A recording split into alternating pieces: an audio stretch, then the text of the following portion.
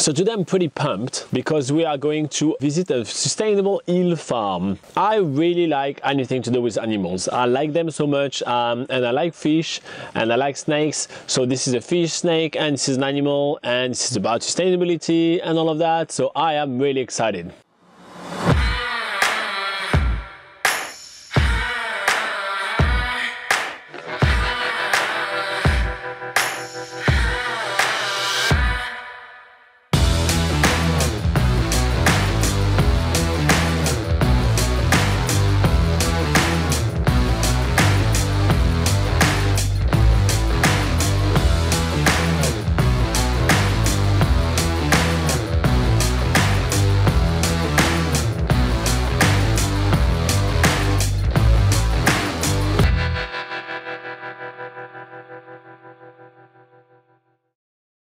We are going to the eel farm. We need to follow this for four point no two point four kilometers until you get to two two four Ohotira Road. You will see a red mailbox on the right. This is very easy to miss.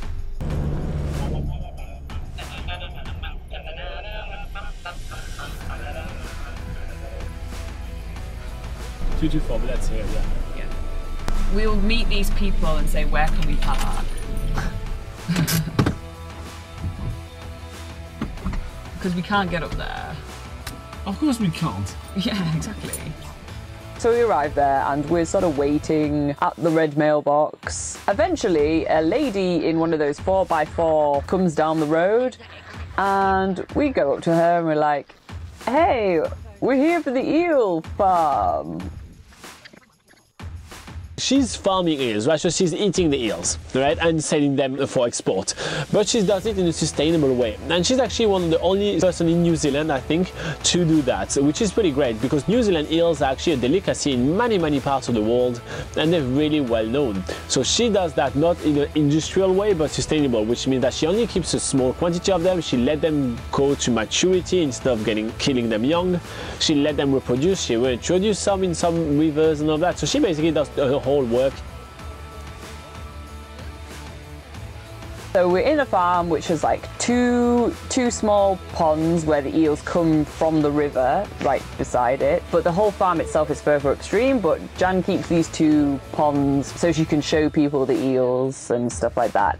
And she's brought with her a few Tupperware boxes of steak. So guess what we're gonna do? We're gonna feed the eels, which is like a really cool way to actually see them really close. Despite them being blind, their instincts are so good that they just like smell it in the water and they slither their way up to the steak. And you can even put it just a little bit higher out the water and they'll they'll slither their way out the water and take it from you and even like have a little tug of war with the steak. That was really cool to to see that. They have very good eyesight, but they can smell. So smell it. Did you see oh, that? Oh, it's so cute! It's so cute. It's quite cold, water, so they'll be quite sluggish. the populations are still high because she's just using the one some of them from the river and not using all of them for farming which other places would do so you know she's just taking a little bit at a time farming the eels sending them to the to asia and places like that which um, really appreciate the new zealand eels as a cuisine Now you have to be a little bit quick because eels have a very strange kind of teeth. So this is the eel mouth, and the teeth of the eel itself is straight actually facing backward. So if they bite you and you try to pull, you're just you know gonna hurt yourself more.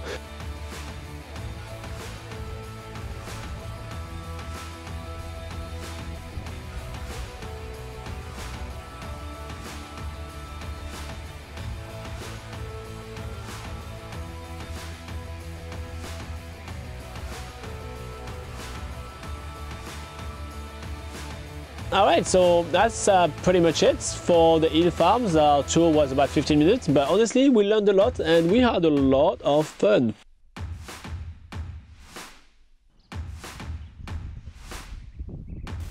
After our time with Jan and the eels and the ducks, we then head back into Raglan. We just sort of pot around the town a bit. It's a surf town, so Every street corner seems to have a Rip Curl or a Roxy or a Quiksilver or any other sort of surf brands. They're all there because Raglan is like a top surf destination in the world. Who decided to put a cone right here and how did they get it up there?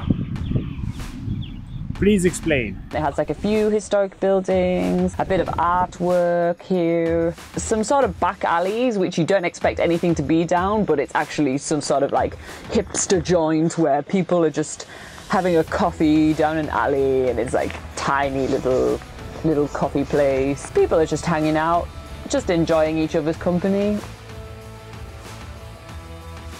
We go back to Raglan Backpackers and they have a spa pool. And we've been eyeing up this spa pool since we arrived yesterday and we were like, we are getting in that spa pool. It's really nice, obviously, it's a spa pool, but I feel within five minutes I'm burning a lot. I'm not very good with uh, heat. So I'm just there like cooking like a lobster. Robin's just like chillaxing for the whole time, like, oh yeah, so nice. And I'm literally like, the top of my body is white and the bottom is red. It was harsh, but it was welcome. It was comfortable for five minutes.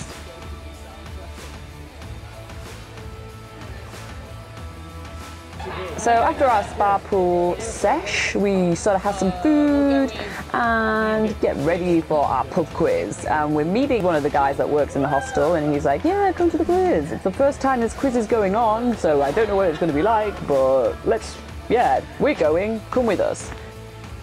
We're answering all the questions, we're having a blast, we're chit chatting with the locals. I'm drinking beer too, because I'm not driving tonight. Whoa, whoa! Robin is like killing the quiz questions because he's such a freaking nerd. The people we're with are just like, wow, we are so glad we have you on our team.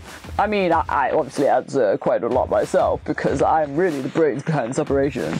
We lost for half a point. And one of the questions, the, the answer was twice the same word, so we, we would have got this half a point. Oh, God. Anyway, it's fine. I had fun. I'm not winning. I'm a bit competitive.